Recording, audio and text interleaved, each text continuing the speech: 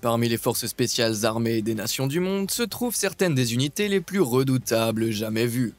Conçues pour aller au-delà de l'appel du devoir, tout, de leur entraînement à leur mission, excède les standards des forces militaires, à des extrêmes que vous aurez du mal à concevoir.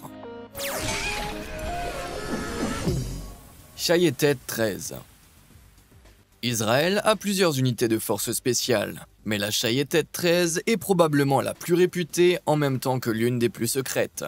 Cette unité, créée en 1949, est également appelée People of Silence, les soldats du silence. D'après leurs uniformes, on peut dire qu'ils sont probablement très doués pour faire taire les gens. Bien qu'ils aient combattu dans presque toutes les grandes guerres d'Israël et entrepris de dangereuses missions de contre-insurrection, vous n'avez probablement jamais entendu parler d'eux. Cela s'explique car leurs informations sont si strictement confidentielles que le gouvernement israélien n'en parle que très peu au public.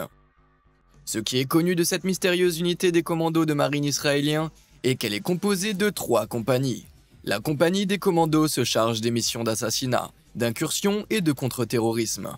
La compagnie sous-marine, dont le nom laisse deviner le rôle essentiellement maritime qu'elle joue dans les attaques et les reconnaissances submergées et en mer.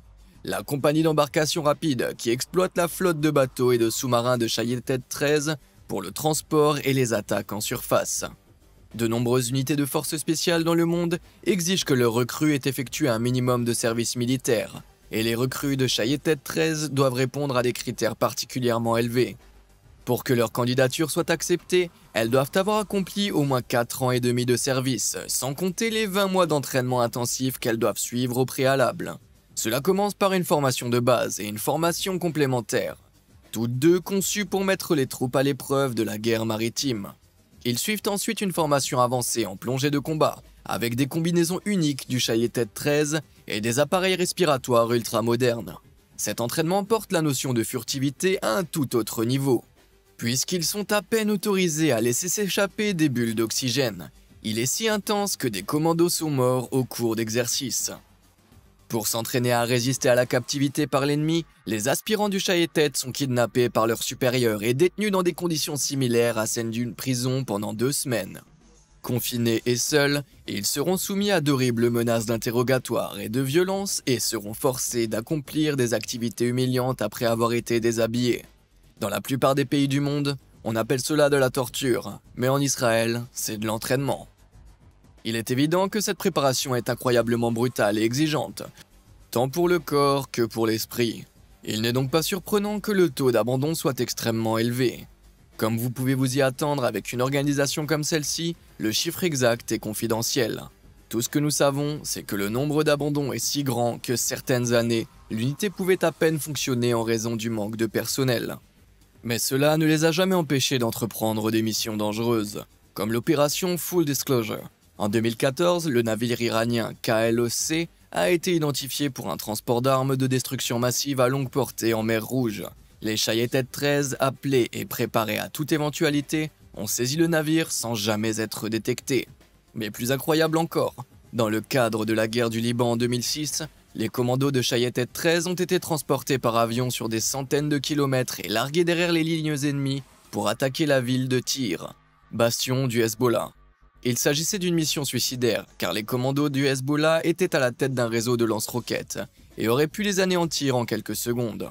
Cependant, le Shaheed 13 a réussi à s'infiltrer et à éliminer 30 commandos du Hezbollah, sans perdre un seul soldat, gardant ses roquettes sous contrôle.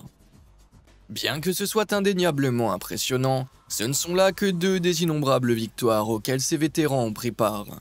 Et très honnêtement, il est peu probable que le monde entende un jour parler de la plupart des missions effectuées par cette unité secrète.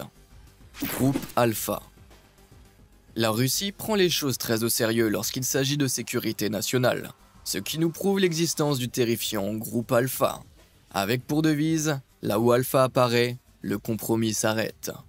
Vous pouvez vous faire une idée de la férocité de cette unité de force spéciale, formée sous les commandos de police secrète russe, le KGB, en 1974, à la suite d'attentats terroristes perpétrés pendant les Jeux olympiques de Munich. Elle s'est progressivement transformée en une force d'intervention spécialisée dans la lutte contre le terrorisme. Aujourd'hui, ils sont chargés de résoudre des situations complexes de prise d'otages dans divers scénarios, notamment en prenant d'assaut des bâtiments, des trains et des avions détournés. Pour s'assurer que l'unité ne compte que les recrues les plus brillantes, tous les candidats potentiels doivent être titulaires d'un diplôme universitaire et doivent passer au minimum 3 ans de formation. Celle-ci comprend une phase exténuante d'entraînement d'infanterie, de parachutisme, de plongée, d'opérations de sniper et de tir pratique. Ils apprennent également diverses langues étrangères et les arts martiaux pour les préparer activement à toute situation terroriste, en plus d'un entraînement psychologique intense pour solidifier leurs allégeances au Kremlin. C'est ce qu'on appelle entrer dans la tête de quelqu'un. Si cet entraînement fait de la pierre angulaire de la puissance militaire russe, au point qu'un coup d'État militaire contre le président Mikhail Gorbatchev en 1991 a échoué parce que le groupe Alpha a refusé d'y prendre part. Malgré les menaces d'exécution proférées par d'autres chefs du KGB à l'époque, le groupe Alpha est resté fidèle et a refusé de s'opposer à la direction du parti. Grâce à cela, aucune attaque n'a été perpétrée contre le bâtiment du Parlement, et le coup d'État s'est finalement écroulé comme un gâteau mouillé. Si le groupe Alpha est une vertèbre essentielle de l'épine dorsale de l'armée russe, sa réputation d'unité sans pitié a des fondements terrifiants. En 1979, ils ont mené 700 troupes soviétiques à l'assaut du palais Tajbek de Kaboul. Leurs ordres étaient simples tuer tous les occupants du bâtiment. Avec 2200 personnes dans les locaux, dont des soldats de l'armée nationale et des gardes du palais hautement entraînés, les soviétiques étaient dangereusement sous-effectifs. De nombreuses forces auraient hésité, mais le groupe Alpha avait été entraîné dès le premier jour à accepter tous les ordres sans poser de questions. Ils ont fait irruption et pièce par pièce ont anéanti environ 350 personnes en seulement 43 minutes. Le palais entier a été conquis en moins d'une heure, forçant les 1850 soldats et gardes restants à se rendre. Cet événement a fait d'Alpha l'une des forces d'élite les plus impitoyables et les plus efficaces de la planète, comme si la mer Russie n'était pas déjà assez terrifiante. US Navy SEALs Lorsqu'Hollywood veut tirer profit de la dernière tendance en matière d'action militaire, vous verrez généralement des personnages basés sur ces types sur votre écran. Ces individus hautement qualifiés, les US Navy SEALs, sont réputés pour être l'une des principales unités de forces spéciales de l'armée américaine. Et ce, à juste titre. Leur acronyme vient du fait qu'ils sont spécialisés dans les opérations maritimes, aériennes et terrestres, et leurs compétences sont tout aussi versatiles qu'elles paraissent. Ils peuvent travailler dans un large éventail d'environnements, des déserts aux zones urbaines, en passant par la jungle et même dans des conditions arctiques. Mais la capacité d'un Seal à s'adapter au terrain est bien plus profonde et découle d'un entraînement redoutable. Par exemple, les SEALs qui se préparent à entrer dans un environnement froid seront emmenés à Kodiak, en Alaska. Là, ils s'acclimatent en étant jetés dans une rivière glacée pendant 8 minutes. Quelques minutes de plus suffisent à tuer la plupart des humains. Ces types d'exercices les poussent au bord de l'hypothermie mais ils sont essentiels à leur survie et à leur performance dans des scénarios réels. Mais le mauvais temps n'est que le début. La plupart de leurs missions nécessitent l'insertion d'unités en territoire dangereux. Le transport conventionnel n'est généralement pas une option. Au lieu de cela, les SEALs sont régulièrement parachutés, livrés par sous-marins ou bateaux à grande vitesse, ou transportés par hélicoptère. Ils sont même entraînés à nager en tenue de combat pour atteindre leurs cibles. Lorsqu'ils atteignent ces cibles, l'action commence vraiment. Les SEALs ont déclaré que leur mission porte principalement sur la guerre d'action directe, la reconnaissance spéciale, le contre-terrorisme et la défense intérieure étrangère. Des enjeux aussi élevés impliquent que leur processus de recrutement ne soit pas aisé, et c'est le moins que l'on puisse dire. Alors que faut-il pour entrer dans les SEALs? Tout d'abord, la préparation comprend 12 mois d'un entraînement de base qui n'a rien de basique. En plus des innombrables redressements assis et pompes, les candidats sont attachés et jetés dans des piscines où ils doivent récupérer des objets en utilisant uniquement leurs dents.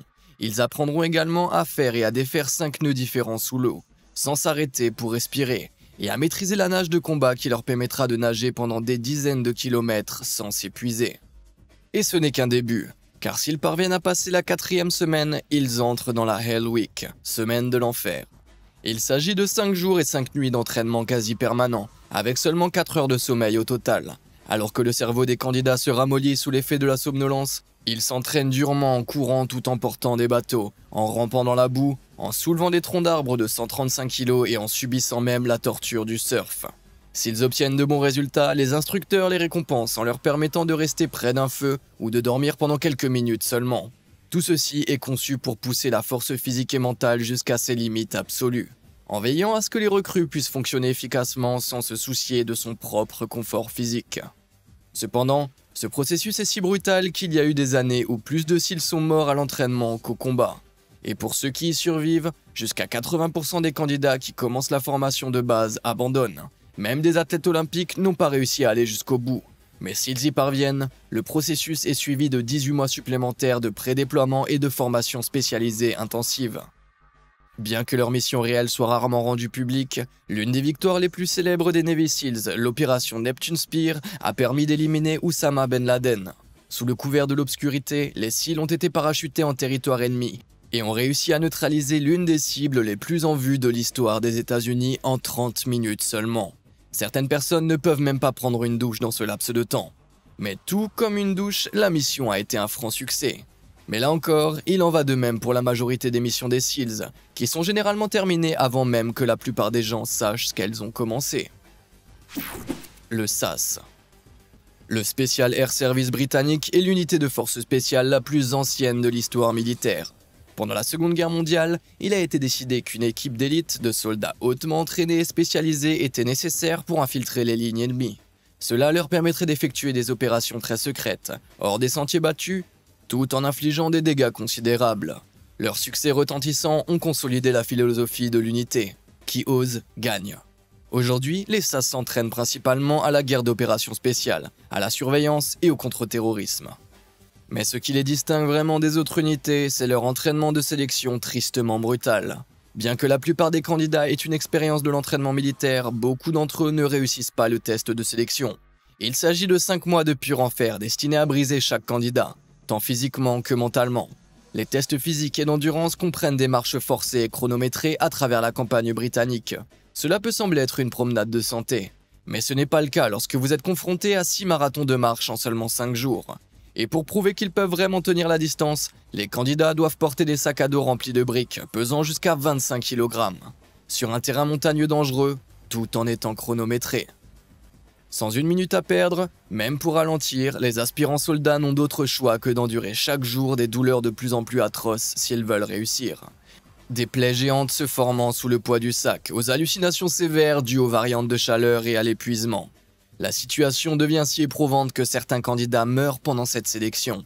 S'ils survivent, s'ils s'entraînent dans la jungle et reçoivent des formations sur les armes, les tactiques et le combat à main nue.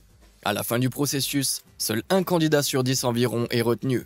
Ils sont alors prêts pour le test ultime, physique et psychologique, la chasse à l'homme. Les stagiaires sont lâchés dans la nature avec pour seul bagage une boussole, un plan et les vêtements qu'ils portent, avant d'être poursuivis par l'ensemble des sas.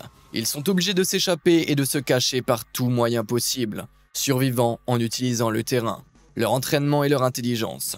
Lorsqu'ils sont finalement rattrapés, ils sont soumis au niveau d'entraînement le plus exigeant de tous, la résistance aux interrogatoires. Cagoulés et menottés, les stagiaires sont jetés à l'arrière d'un camion et transportés vers un centre de détention. À leur arrivée, ils sont immédiatement suspendus et arrosés d'eau glacée. Les interrogateurs les laissent ensuite dans des positions stressantes, avec un bruit de fond pour s'assurer que le repos soit la dernière chose à laquelle ils pensent. Privés de nourriture, d'eau et de sommeil pendant une période pouvant aller jusqu'à 7 jours, les plus forts peuvent s'effondrer mentalement et devenir des épaves en sanglots. Mais ils auront beau pleurer comme des fillettes, ils n'échoueront que s'ils enlèvent leur propre capuche ou répondent à leurs interrogateurs par autre chose que leur matricule.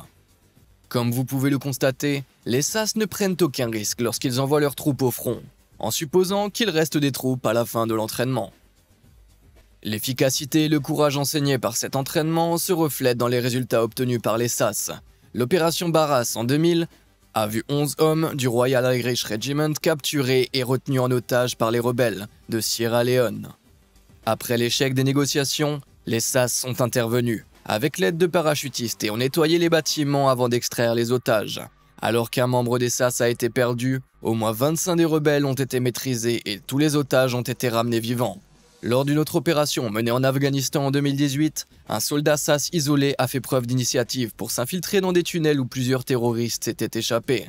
Alors que la milice locale refusait de donner la chasse, ce soldat a éliminé les six terroristes en fuite dans l'obscurité avec rien de plus qu'un pistolet et un marteau à griffes après que son pistolet se soit enrayé. Ce n'était peut-être pas un équipement standard, mais il a fait le travail. Avec de telles compétences, il n'est pas surprenant que ces soldats soient considérés comme une force spéciale d'élite. Qui plus est, les soldats des SAS s'entraînent également aux côtés des agents du MI5 et du MI6 en espionnage. En somme, un officier SAS est à la fois un Navy SEAL et un James Bond. Froman Corpset Parfois, ce n'est pas la quantité, mais la qualité qui compte vraiment. Vous ne me croyez pas? Demandez à la Froman Corpset danoise, une unité d'élite qui a accueilli moins de 350 recrues dans ses rangs. En français, ce mot signifie corps des hommes grenouilles. Et comme il l'indique, il s'agit d'une force maritime mortelle qui fait chanter ses ennemis. Faisant partie de la marine royale danoise, cette unité basée au Danemark a été créée en 1957, en sélectionnant les meilleurs éléments des entraînements militaires d'élite norvégiennes, britanniques et américaines. Bien que leur rôle principal soit la reconnaissance, cette unité va là où les navires de la marine ne peuvent se rendre. Ils sont capables de cibler les plages, les côtes, les fjords et les ports avec facilité, mais sont également formés à la reconnaissance spéciale, à l'abordage de navires, au sabotage et à l'action directe lorsque cela est nécessaire. Passer autant de temps dans les eaux froides et sombres de l'hémisphère nord ne va pas de soi. Et l'entraînement que doit suivre un homme grenouille fait pâlir celui de nombreuses autres forces. Bien qu'aucune expérience militaire ne soit requise, le processus de sélection élimine plus de la moitié des candidats dès la première semaine, ce qui permet de séparer les fanatiques de Call of Duty des véritables candidats. Vous n'avancerez que si vous êtes capable de courir 2,7 km en 12 minutes, de marcher avec 10 kg d'équipement sur plus de 64 km, de nager près de 300 mètres en 8 minutes et de nager près de 25 mètres sous l'eau. Dans la section aquatique, les candidats tenteront souvent d'enfiler un équipement de plongée complet sous l'eau, mais les plongeurs inexpérimentés s'évanouissent parfois et doivent être ranimés. Et tous ces défis ne sont que le point de départ pour être admis. Avec environ 200 recrues par processus de sélection, moins de 10% passeront à la phase suivante. Cette étape comprend des marches de navigation, un entraînement de résistance à l'hypothermie en eau froide, des tests de 1000 pompes et de marches de 26 km, généralement assignés à l'un des soirs par semaine où les candidats ont du temps libre. Et tout cela en l'espace de 6 semaines seulement. Pendant le reste des 8 mois, la formation de base et la formation technique sont au centre des préoccupations, tournant autour des différents éléments tels que la formation tactique à la plongée à l'oxygène, la formation à la patrouille et la neutralisation de bombes. L'obtention du diplôme est suivie d'une autre année de formation avant que toute recrue puisse être opérationnelle. À partir de là, c'est une vie de secret presque totale, le gouvernement danois ne divulguant que rarement les détails des missions des hommes grenouilles. Mais en fonction de leur mission, comme la reconnaissance, les équipes d'opérateurs peuvent porter des voiles faciaux pour masquer la forme de la tête et du cou. Ce qui, pour quiconque a déjà vu ces hommes ou ces types au cinéma, leur donne certainement un côté effrayant. Cela les rend également beaucoup plus difficiles à repérer lorsqu'ils traquent leur cible, ce qui en fait une force mortelle que vous ne verrez jamais venir. J'ai toujours pensé que le but d'une force ou d'une unité d'élite était de rester inconnu, mais avec des uniformes comme ceux-ci, il est impossible de ne pas être repéré. Y a-t-il une loi non écrite quelque part qui exige que toutes les forces d'élite aient l'air d'être préparées pour une apocalypse du genre Mission Impossible? Parmi toutes ces forces, quelle est selon vous celle qui a le meilleur look? Faites-le moi savoir dans les commentaires. Et pendant que vous y êtes, testez vos talents de tireur d'élite en appuyant sur les boutons j'aime et s'abonner pour obtenir plus de contenu percutant. Delta Force Vous les connaissez peut-être sous le nom de US Delta Force, ou simplement sous celui l'unité. Mais leur titre officiel est le premier détachement opérationnel spécial Delta. Nombreux de leurs surnoms sont informels, ce qui n'est guère surprenant car très peu de gens parlent officiellement et publiquement de ce qu'ils font réellement, leur mouvement étant hautement classifié. Outre les opérations de contre-terrorisme, la Delta Force prend part à des scénarios de prise d'otages, de reconnaissance et d'opérations d'action directe moins secrètes. Créée en 1977 lorsque les activités terroristes de haut niveau ont commencé à se multiplier, cette unité d'opération spéciale de niveau 1 devait à l'origine rester totalement inconnue du public. Bien sûr, il n'en a rien été mais leur discrétion est toujours de mise. Nombre de leurs missions sont strictement confidentielles, et même lorsqu'ils sont tués au combat, l'armée refuse souvent de révéler la véritable identité du soldat. Voilà un secret qu'on emporte dans la tombe. Le processus de sélection de la Delta Force serait le plus difficile au monde. La plupart des candidats sont déjà des soldats incroyablement compétents, souvent issus des forces spéciales comme le 82e Division aéroportée et les Navy SEALs et beaucoup d'entre eux ont déjà servi leur pays en combattant activement. Mais même leur grande expérience d'un entraînement physique éprouvant ne suffit pas à garantir la réussite de ce processus de sélection difficile. Il s'agit d'un cours d'un mois conçu pour mettre en évidence la crème de la crème des meilleurs, avec des tests incroyablement exigeants, allant de la navigation avancée dans les véhicules et du crochetage de serrures aux démolitions et à l'utilisation experte des armes à feu. Tout est orienté vers la création de machines de destruction ultime. La plupart des détails concernant les spécialités du processus restent confidentiels, mais on pense que moins de 10% des candidats parviennent à passer la sélection de la Delta Force. Parmi ceux qui sont sélectionnés pour s'entraîner au sein de l'unité, 50% abandonnent. Ainsi, sur un groupe potentiel de 120 candidats, seuls 6 environ parviendront à s'en sortir. Et ce, les bons jours. Ce régime absolument brutal signifie que le nombre total de Delta est estimé à environ 1000 soldats. Mais on dit que les meilleures choses viennent en petits paquets. Même si de nombreux détails des opérations de la Delta Force sont trop secrets, leur participation à l'invasion du Panama en 1989 a inévitablement fait la une des journaux. En décembre de cette année-là, les agents de la Delta Force sont parvenus à libérer un otage américain d'une prison en pleine ville au Panama. Bien que leur hélicoptère ait été abattu et que les agents aient été gravement blessés, ils ont réussi à extraire l'otage et l'équipe sans faire de victimes de leur côté. Et quelques jours plus tard, une unité Delta a eu recours à une guerre psychologique intensive pour convaincre le président tyrannique du Panama, Manuel Noriega, de lever le drapeau blanc. Je ne peux que le féliciter d'avoir tenu aussi longtemps. J'aurais jeté un regard sur eux et je me serais rendu. Je suis pas un lâche, je préfère simplement que mon corps ne soit pas troué par les balles. Je ne fais qu'effleurer la surface des forces spéciales d'élite du monde. Il est pratiquement impossible de faire tenir toutes les forces d'élite du monde en une seule vidéo, et de leur rendre justice. Donc si vous voulez une deuxième partie, dites-le moi dans les commentaires, parce qu'il y en a tellement d'autres dont je veux vraiment vous parler. Laquelle de ces forces spéciales voudriez-vous intégrer si vous étiez capable de passer le cap de l'entraînement? Dites-le moi dans les commentaires ci-dessous. Et merci de nous avoir suivis.